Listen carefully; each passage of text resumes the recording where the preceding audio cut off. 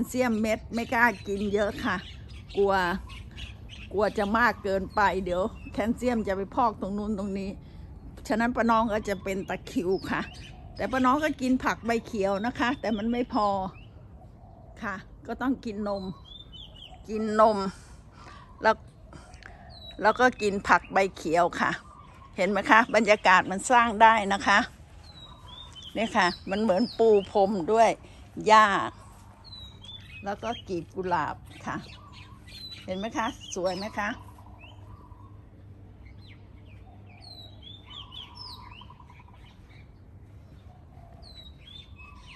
คที่ยาบานอันนี้บานหลายวันนะคะป้าน้องให้เขาลดน้ำหนักนะคะ นอกจากคุมเรื่องอาหารแล้วนะคะ ยังให้เดินเช้าเช้าเนี่ยถอดรองเท้าเดินที่สนามด้วยนะคะ เพื่อให้ไฟไฟฟ้าสถิตวิ่งลงดินค่ะ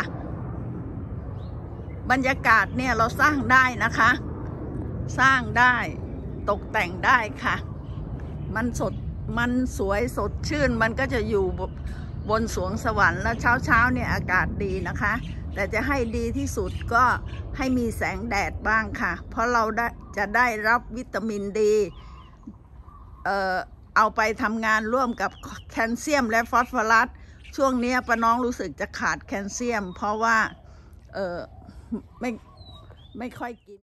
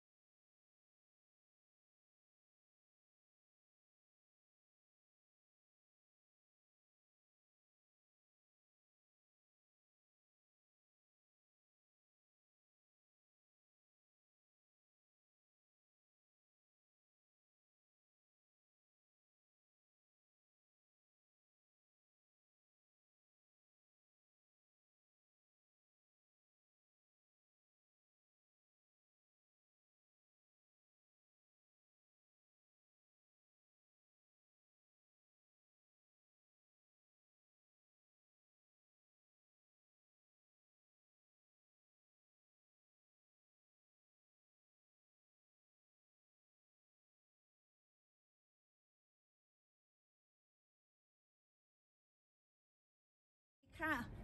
ป้าน้องนะคะ จิยรัตน์กุลทนบุตรค่ะ เป็นนักโภชนาการค่ะ ป้าน้องอายุ 81 ปีค่ะป้าน้องอายุ 81 ปีค่ะเอ่อก็จะเป็นโภชนากรเอ่อประจำโรงพยาบาลนะคะเอ่อป้าน้องจะเป็นเลือกเป็นหัวหน้าฝ่ายโภชนาการเอ๊ะโภชนาบำบัดค่ะ เพราะไม่อยากฆ่าสัตว์ตัดชีวิตค่ะ เพราะว่าถ้าเผื่อไปอยู่หน่วยผลิตหรืออะไรเนี่ย ต้องออกเมนูฆ่าสัตว์ตัดชีวิตป้าน้องจะไม่ทำนะคะ ฉะนั้นจะเห็นว่าเอ่อตั้งแต่เล็กจนโตเนี่ยค่ะ เริ่มเป็นสาวเนี่ยป้าน้องก็ 47 กิโล